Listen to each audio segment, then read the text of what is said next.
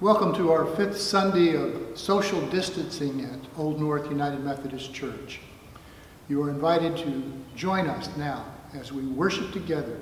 Even though we are apart, we are bound together as brothers and sisters in Christ. Let us worship.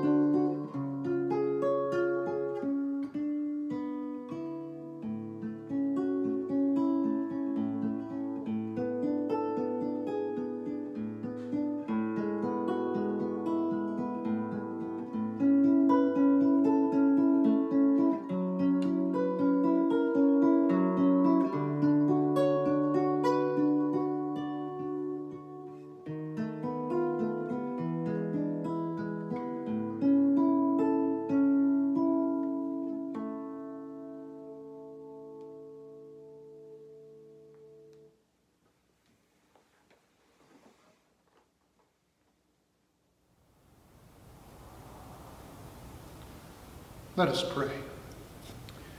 O God, in your holy sanctuary, we seek your presence. We come broken and hurting. Touch us with your healing hand.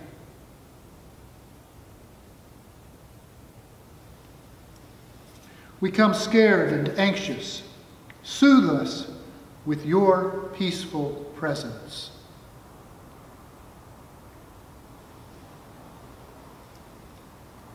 We come uncertain and discouraged. Renew us with your gentle spirit.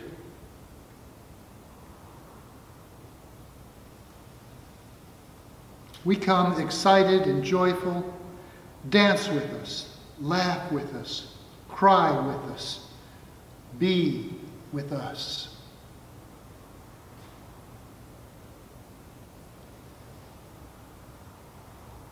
In love, we come to you today and every day, for we are your children.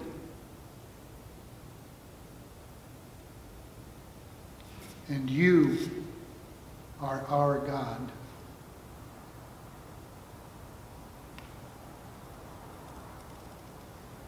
In the name of Jesus, amen.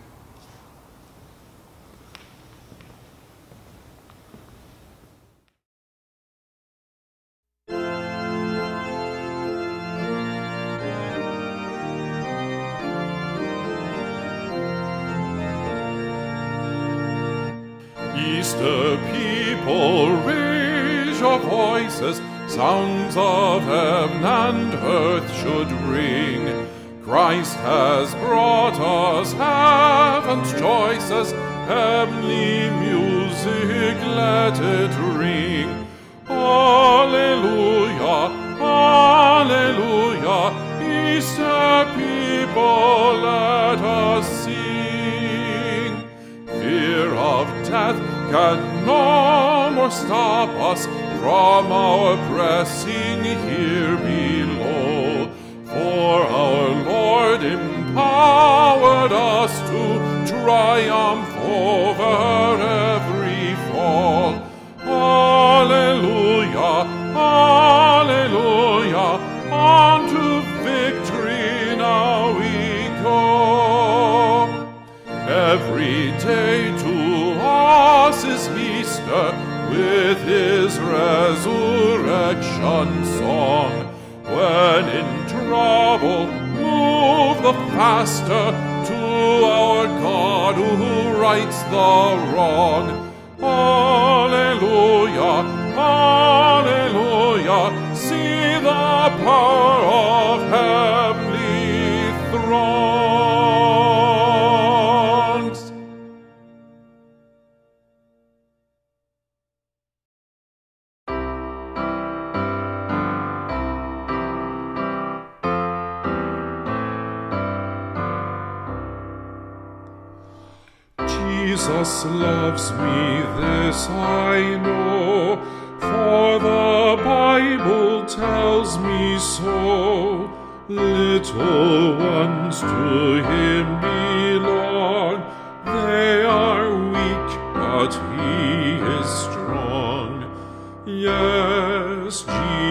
Jesus loves me.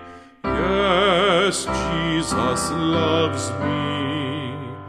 Yes, Jesus loves me. The Bible tells me so.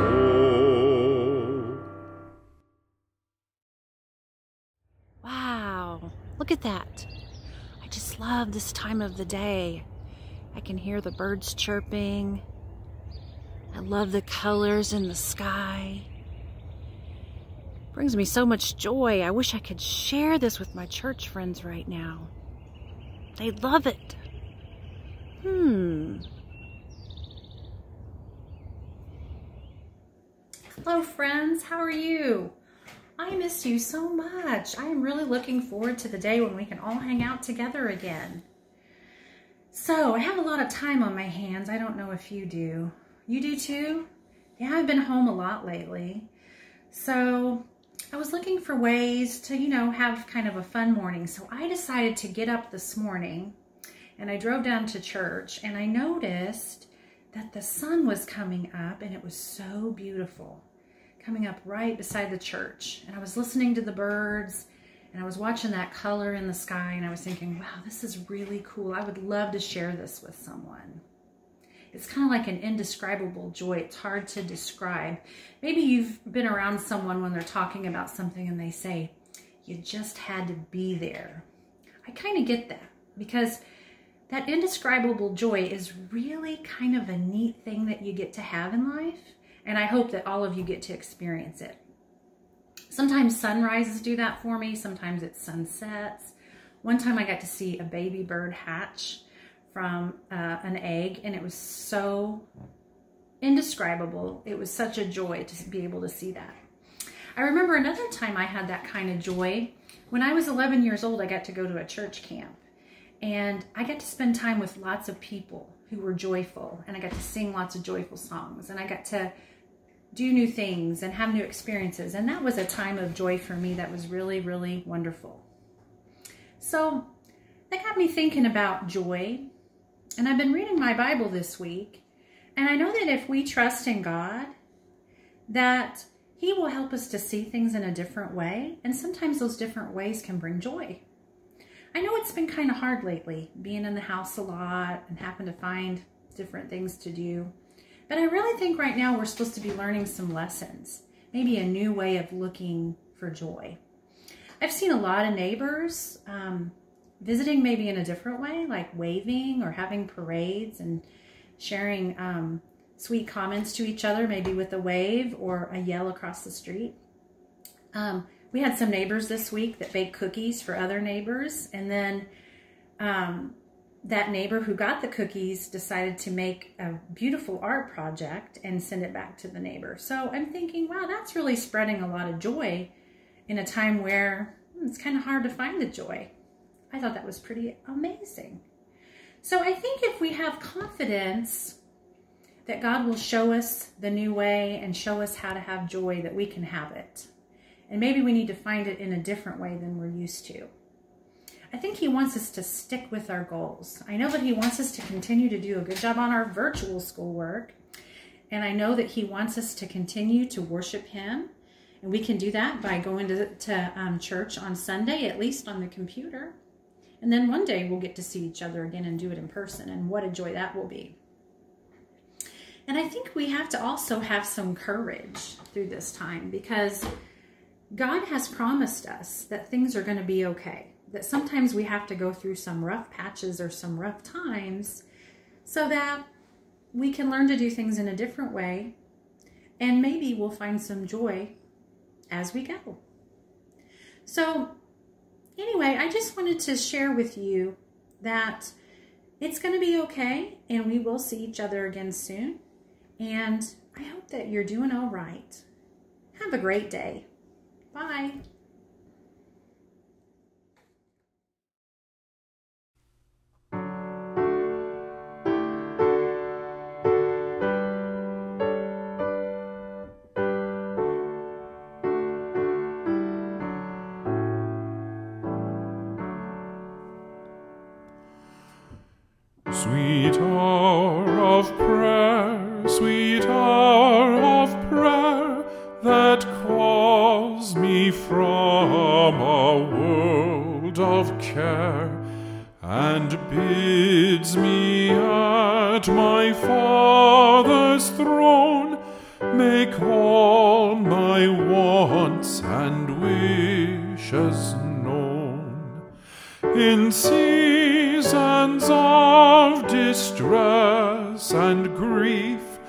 My soul has often found relief and oft escaped the tempter's snare by thy return, sweet hour of prayer.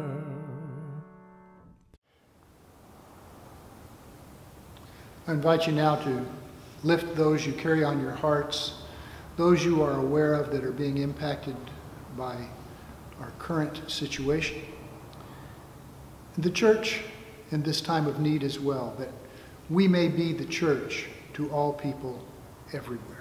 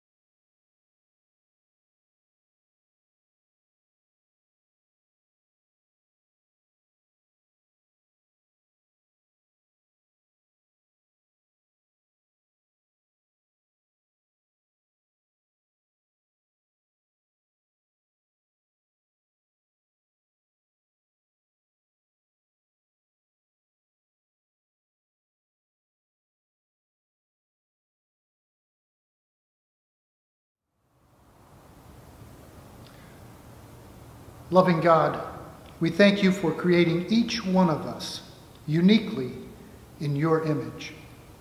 We are so grateful that because we are your children, because you created us and breathed into us the breath of life, there is also a place for each one of us at your table. Sometimes, God, we don't feel worthy. We think we have to earn your love. We believe we are too damaged to receive your mercy.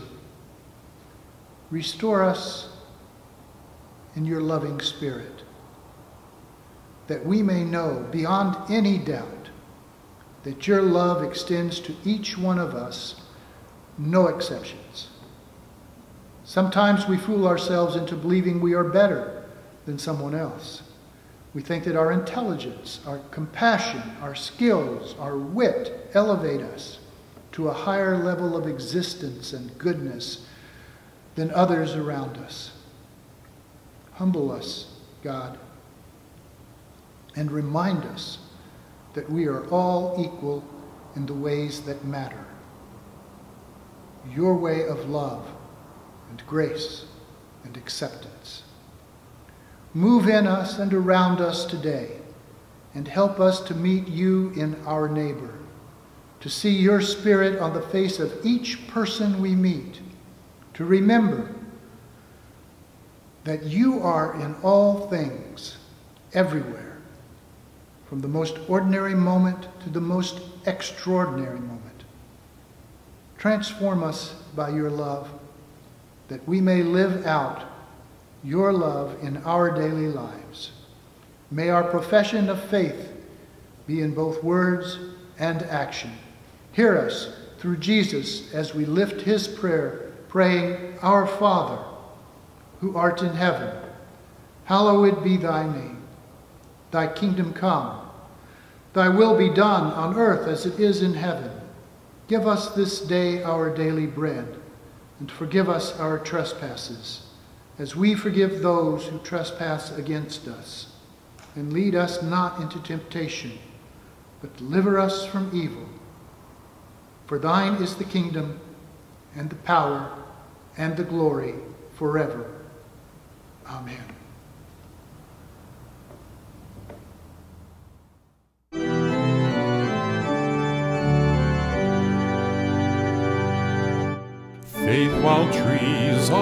Still in blossom, plants the picking of the fruit. Faith can feel the thrill of harvest when the buds began to sprout. Long before the dawn is breaking, faith anticipates the sun. Faith is eager for the daylight, for the work that must be done. Long before the rains were coming, Noah went and built an ark. Abraham, the lowly migrant, saw the light before the dark. Faith uplifted, tamed the water of the undivided sea, and the people of the Hebrews found the path that made them free. Faith believes that God is faithful, God will be what God will be faith accepts the call responding, I am willing, Lord, send me.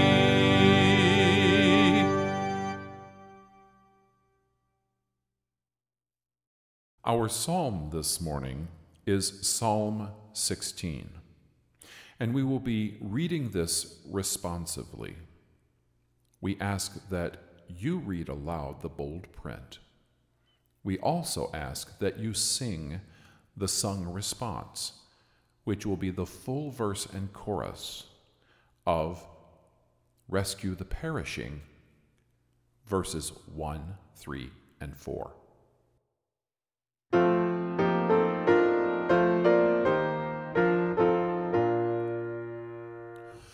Rescue the perishing, care for the dying, snatch them in pity from sin and the grave.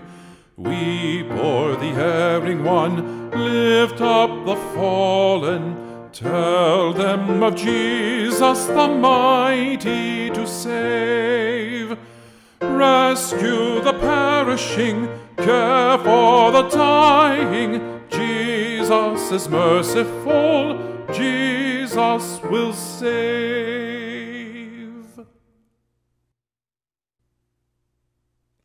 The Lord is my chosen portion and my cup. You hold my lot.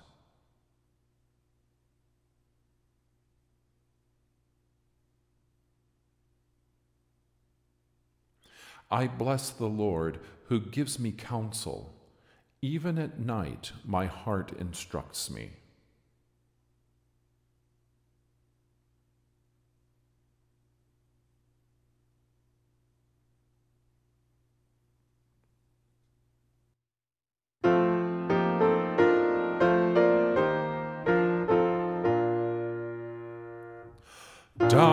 In the human heart, crushed by the tempter, Feelings lie buried that grace can restore, touched by a loving heart, wakened by kindness. Chords that were broken will vibrate once more. Rescue the perishing, care for the dying. Jesus is merciful, Jesus will save.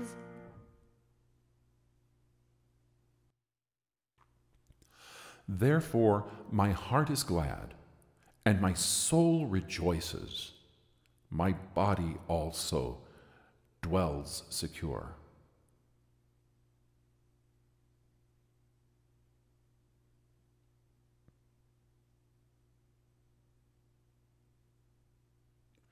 You show me the path of life.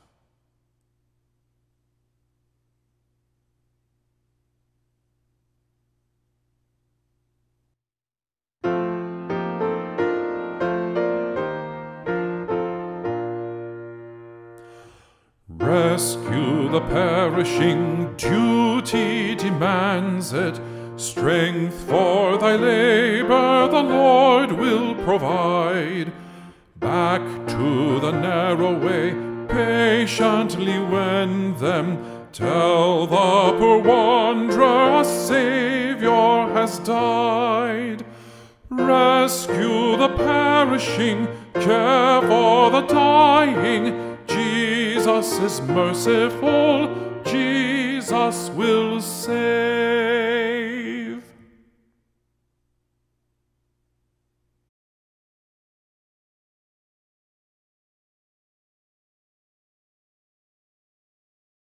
Let us pause in life's pleasures and count its many tears while we all sup sorrow with the poor.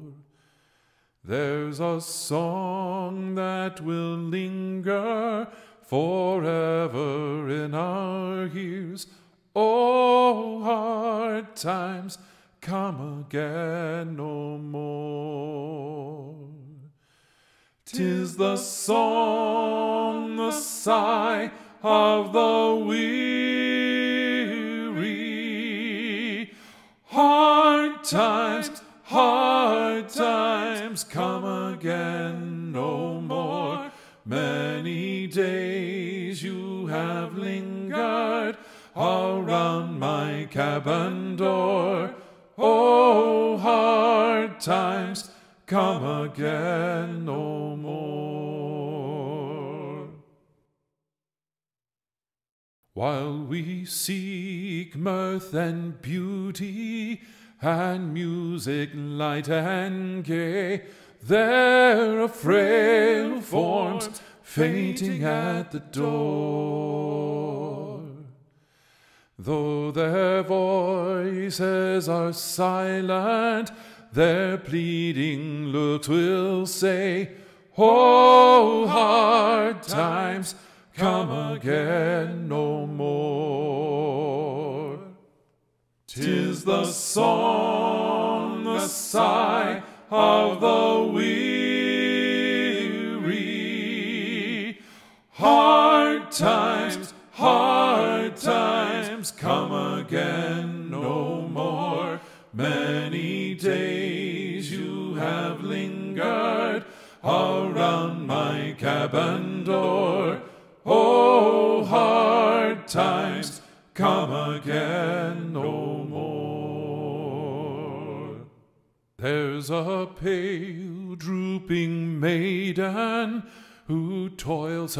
Life away with a worn heart whose better days are o'er. Though her voice would be merry, tis sighing all the day. Oh, hard times come again no more. Tis the song, the sigh of the weary.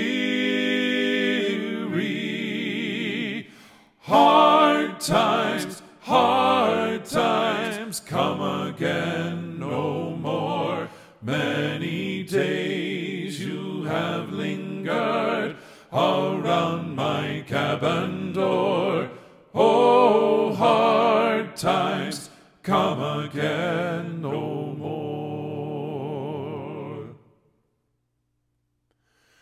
Tis a sigh that is wafted across the troubled wave.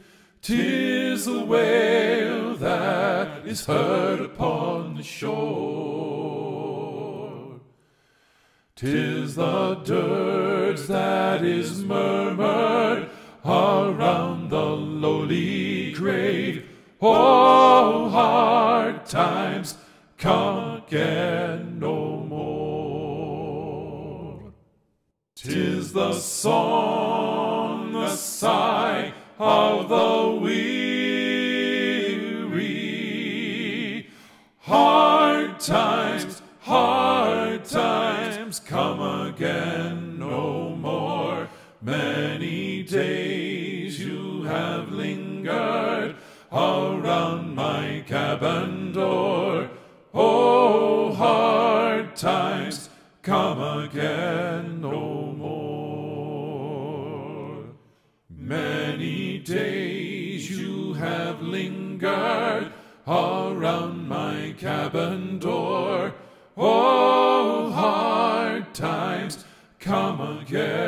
no more. Oh, hard times come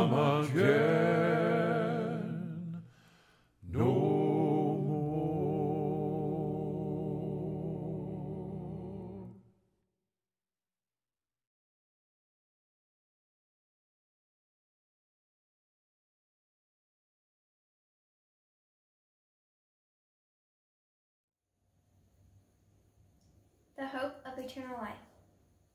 All praise to God, the Father of our Lord Jesus Christ. It is by his great mercy that we have been born again, because God raised Jesus Christ from the dead. Now we live with great expectation, and we have a priceless inheritance.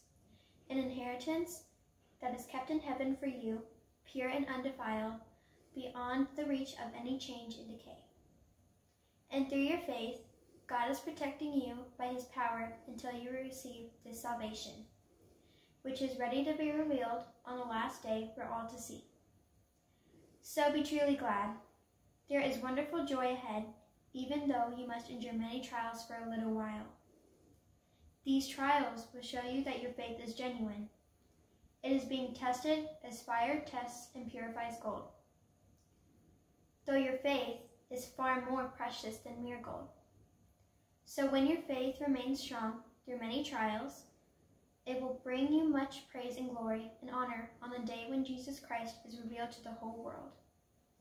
You love him even though you have never seen him. Though you do not see him now, you trust him, and you rejoice with glorious, inexpressible joy. The reward for trusting him will be the salvation of your souls.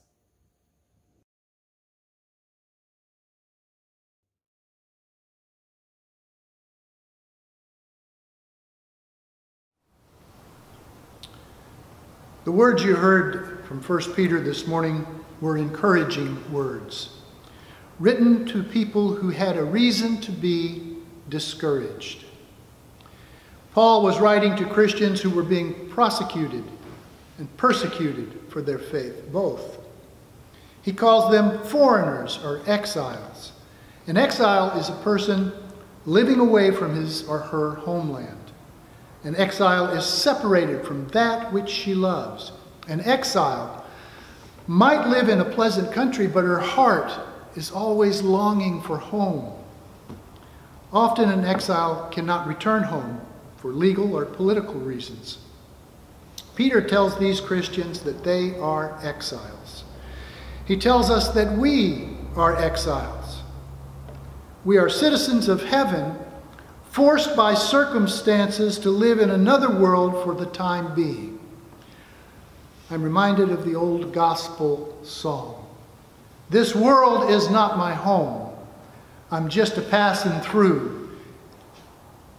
If heaven's not my home, then Lord, what will I do?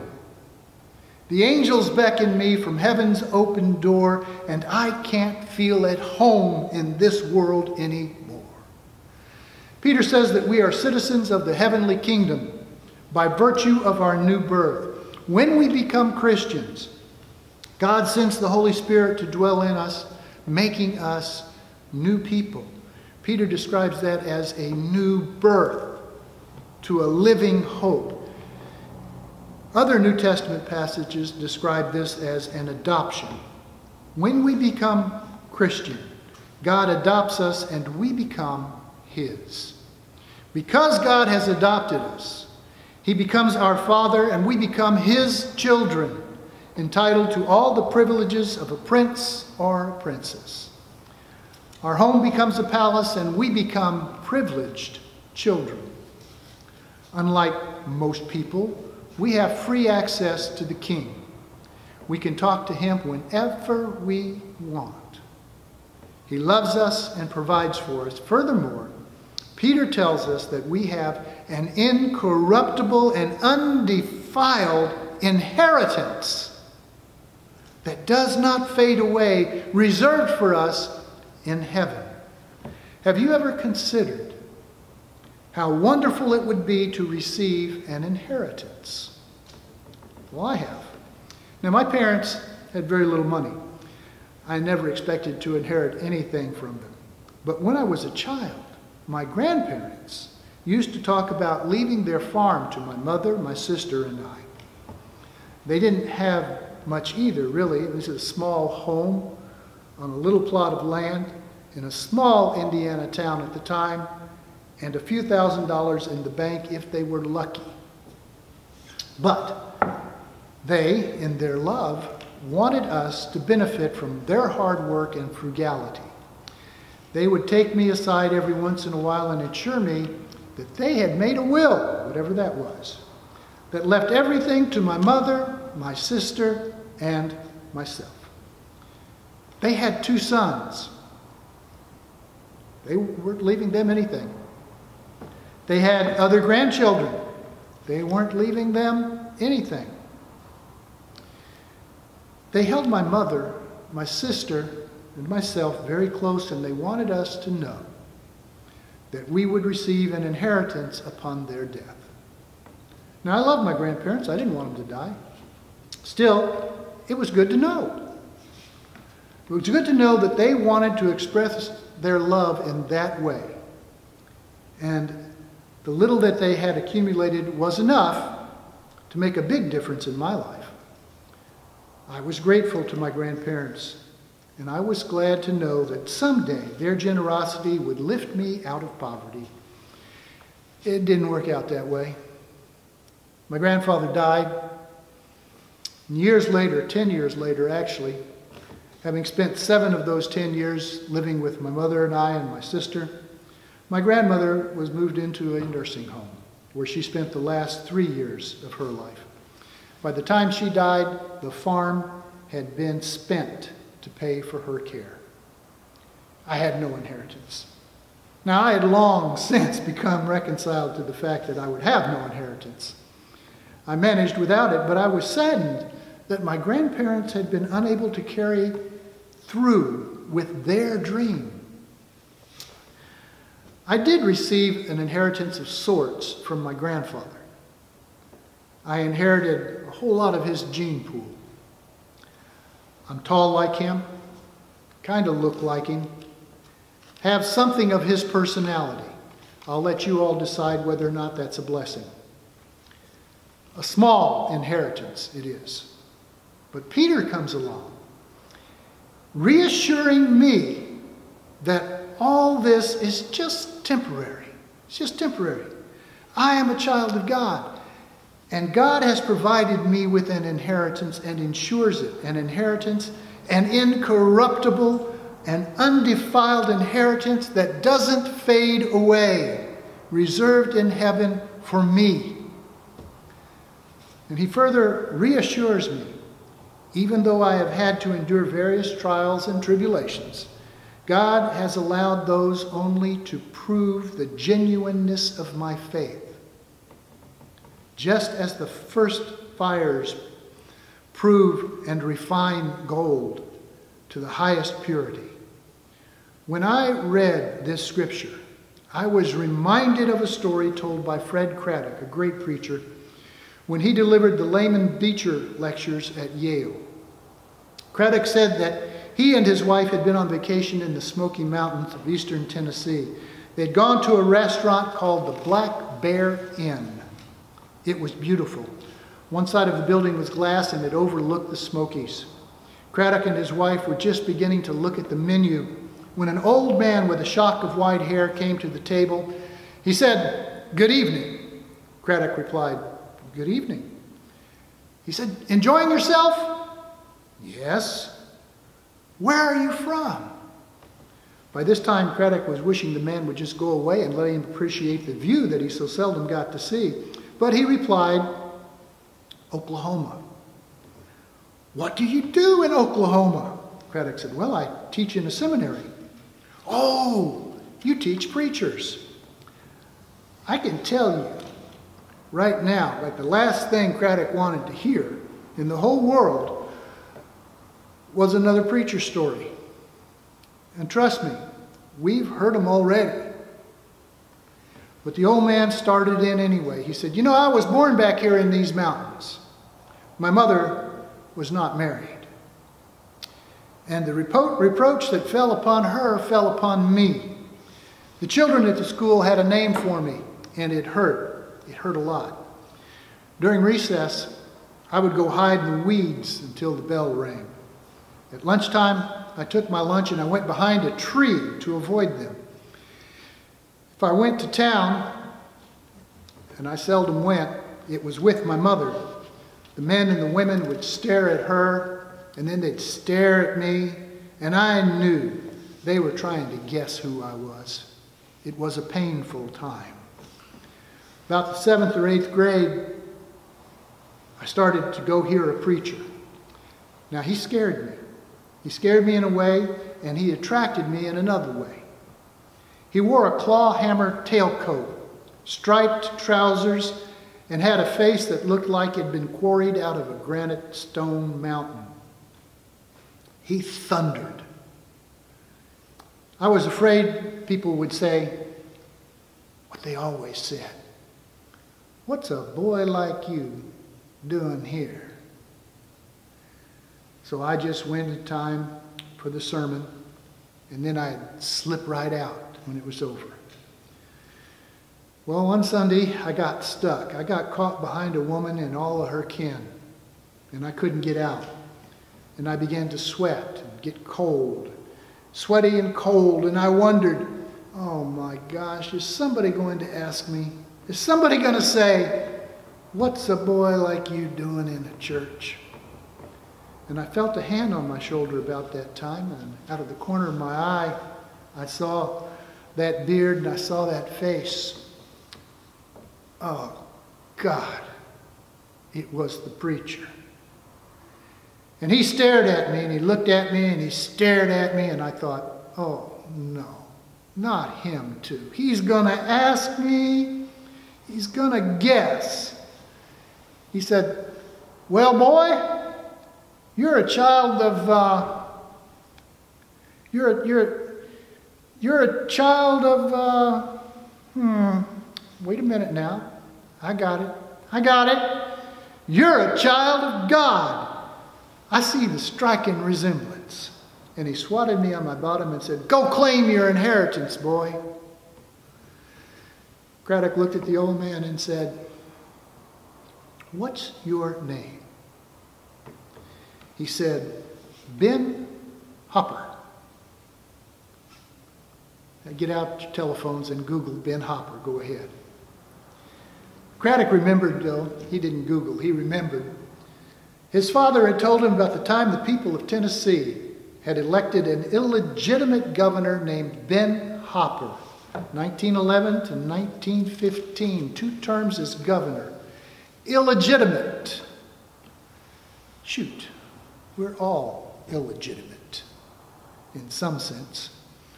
Paul tells us that we have all sinned and come short of the glory of God.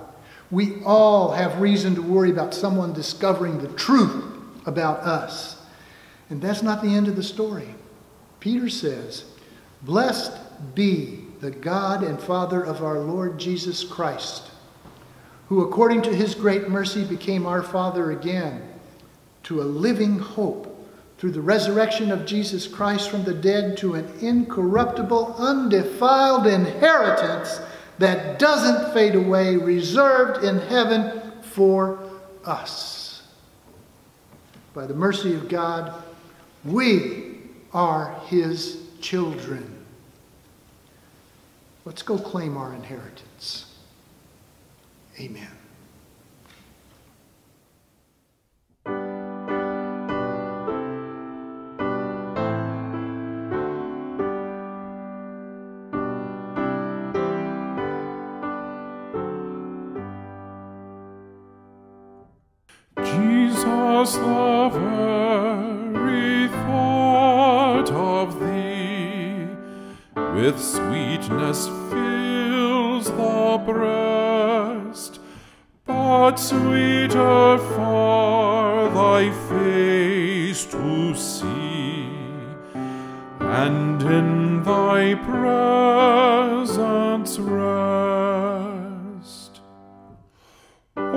Hope of every contrite heart, O joy of all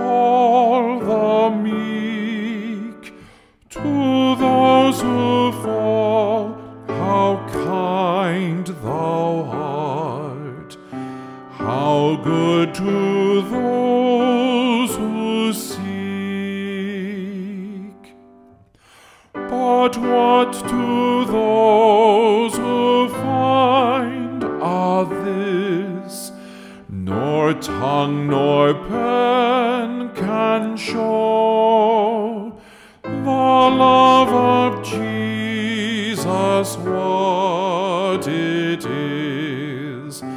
None but his loved ones know. Jesus, our only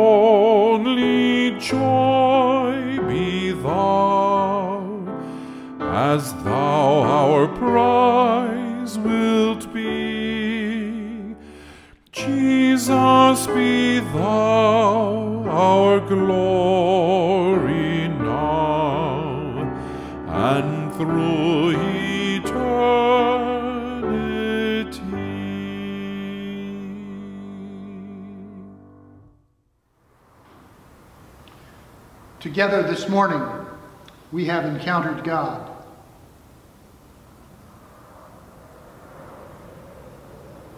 We have heard the gospel.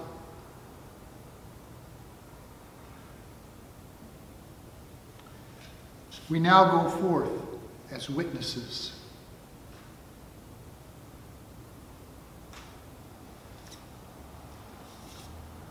Celebrate the good news.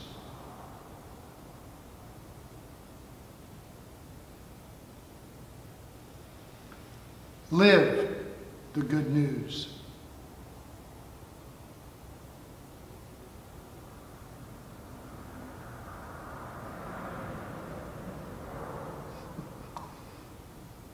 That's always the hardest thing to do, live the good news. There it is. Share the good news.